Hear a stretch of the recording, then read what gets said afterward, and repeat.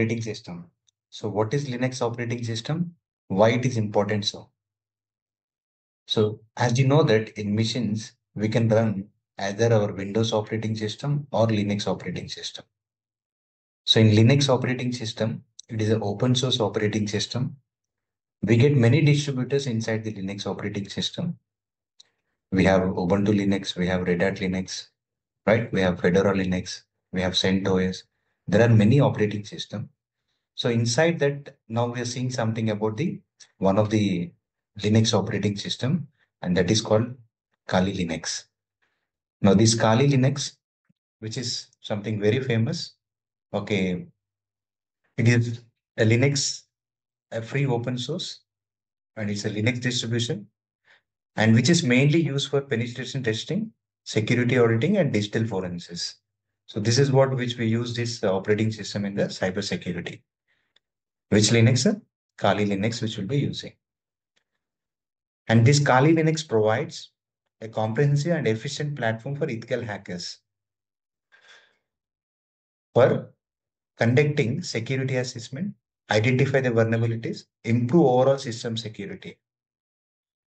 So this Kali Linux, wide importance in the ethical hacking. We have a lot of pre-installed tools inside this Kali Linux. Okay, there are hundreds of, you know, hundreds of hundreds of uh, tools which will be get inside this. And we get the community support inside this. For any support if you require, we'll have a regular updates. We can do customization. And as we know, it is an open source operating system.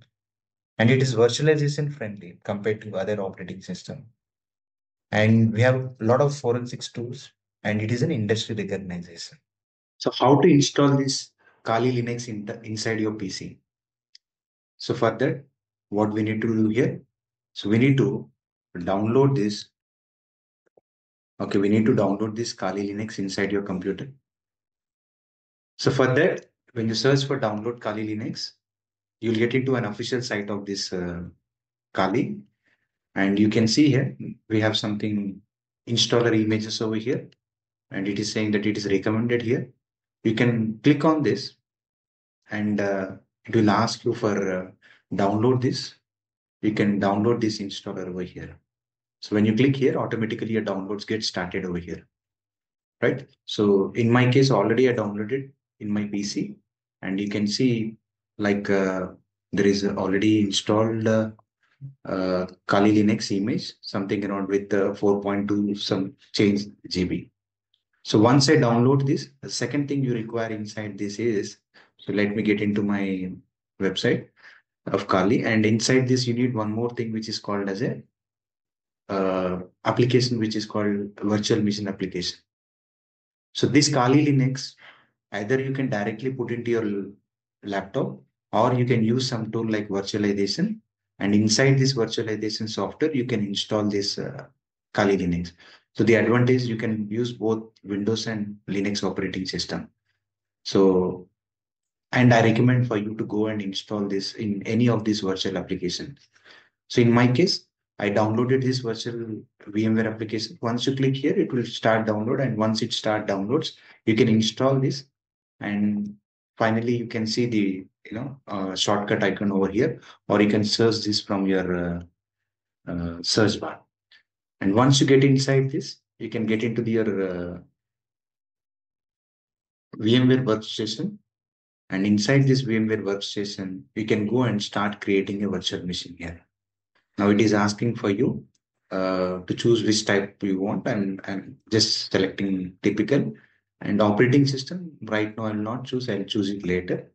And from there, I'll go and choose my uh, operating system, which is over here. And as of now, uh, I'm just selecting this as which operating system as some Debian operating system I'm selecting. Or you can find some Kali Linux over here. It did not find. I'm just selecting this Debian. Click next and it is by default it is going into the virtual machine. Uh, it is going inside your documents so once i get it this so where i can get this? I can get into my documents. You can see over here. So there is a folder called as virtual machine and here it's going to be get created so let me click next here and it is asking my size of this uh, uh, virtual machine. So it's going to be, let me give this as a 100 GB. I'm giving the capacity of the hard disk. And uh, finally, what I do, finish this. So once I finish this, what it is asking here, it is asking me to go and uh, uh, choose my uh, image over here.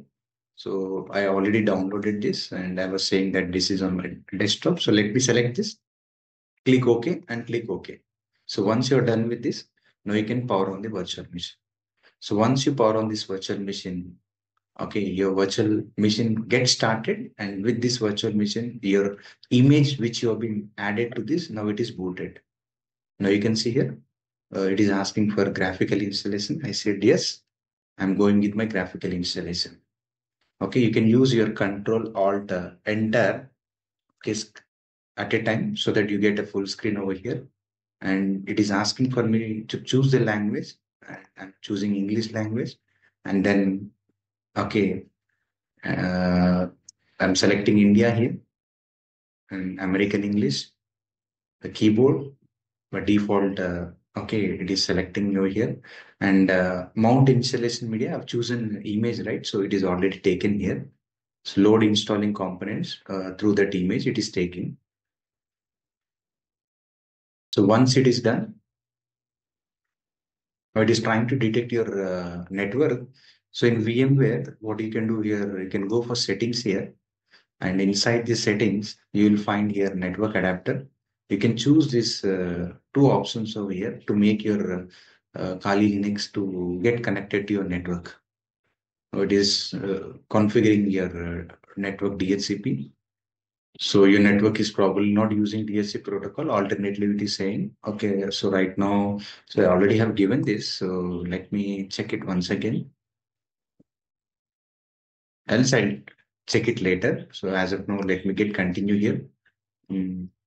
Normally it is retry once again. Let me check it once again and see. Network is probably not using DHCP protocol. Okay, let me continue this. So right now I don't require, let me check it later. So it is asking for the host name. What do you want to give? By default, it is saying Kali name. And let me give it the same. And the user. And here also, I'm using here uh, the name a username who is going to use this machine as a Kali. And here also I'm using Kali. So once I've done with this, it is asking for the password. So let me give some password here.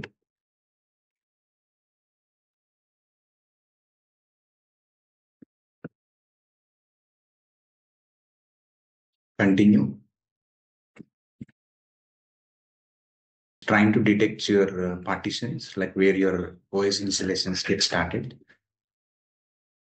Now, do you want to use the entire disk? Yes, I say there is a virtual machine which I've taken. I want to continue for using the entire disk over here. I, all files in the part one partitions. I'm okay with this. Let me continue and finish of uh, partition and writing the disk. I say okay. Let's get continue. And uh, if you want to, you know, uh, continue the changes list below the disk, otherwise it will make uh, some further changes manually. So right now I'm taking this as a no, sorry, yes, and I'm selecting next. Now the installation process gets started. So let me pause here and uh, it takes some time. So again, we'll get continue for the same. By default, it is giving uh, you know, some software selections over here uh, choose this desktop environment uh, XFC and a few things over here. Let me take it as a default and get it, uh, click next. And it is installing all the softwares.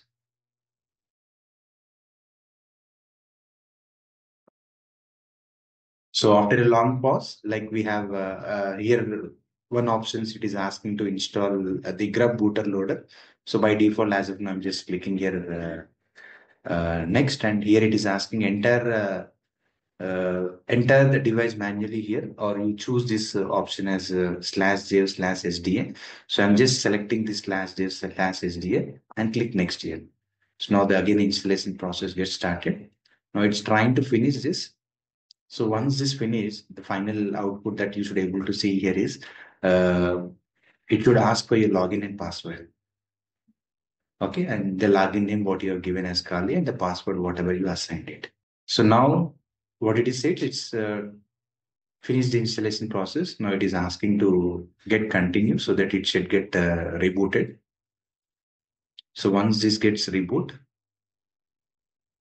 now you can see here. So Kali Linux, now I'm just pressing enter over here.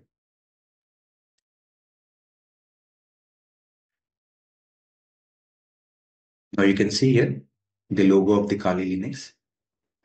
And once this has been done, it should ask me the username. So the username I've given as uh, Kali and the password to what you have given at the time of you know installation. Finally, you can see the once it is login, you can go and uh, put this as an exclusive mode so that uh, you know you get a full screen over here. And uh, you can see here uh, these are all the you know directories inside this Linux operating system which you get. So what is this all the directories? Every directory has uh, some specific uh, purpose. Like we'll see later about that. But once you done with the installation part, it looks like this.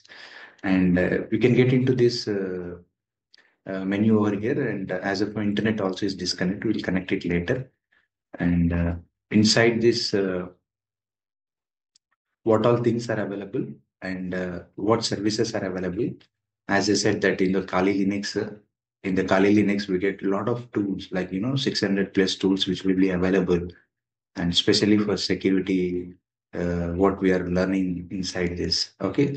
So information gathering, vulnerability uh, analysis, you know, web, web application analysis and password attacks, wireless attacks.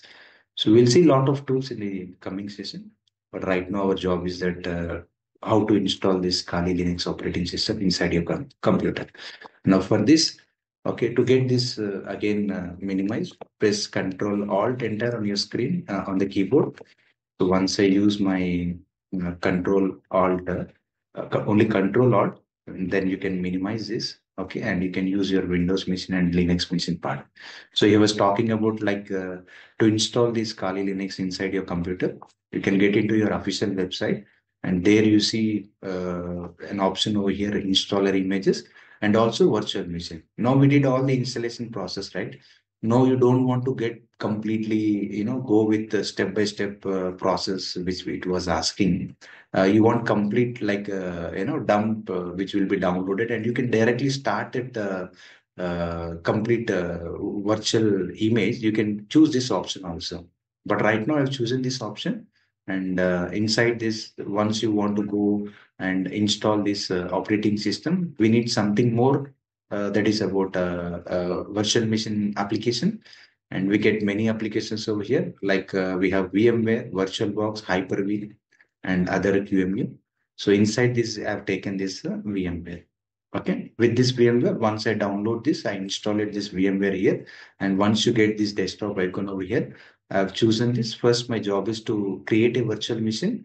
So once I create a virtual machine, okay, once I create a virtual machine and I've chosen this image of uh, Kali Linux, which have been downloaded in my uh, machine, you can see that uh, the Kali Linux image which was downloaded. And finally, I created a machine. I installed this operating system in the machine. So next time you can see this machine comes over here and you can just simply click on this so that your machine gets uh, over here uh, right now uh, my machine is already running which is showing here okay you can close this okay whenever you want you can do power off like this and whenever next time when you require this so now these can be opened uh, by getting into your documents and inside the documents you have virtual machine and there we have chosen this uh, Debian right uh, operating system and uh, Debian is a name but uh, actually it is a Kali Linux operating system so you see here there is an uh, icon with a different icon you can see comparing to all this. So this is the three icons files which you can see here. This will be the only file which will be available inside this folder. So once you double click this and you get this screen over here, like how do you power on your machine? The same thing you click on this and once you do this, your virtual machine gets started. Okay, so once your virtual machine gets started and we can start working with your Kali Linux, right? Now you know how to download, how to install, and how to off it and how, how to on the virtual machines. Thank you all.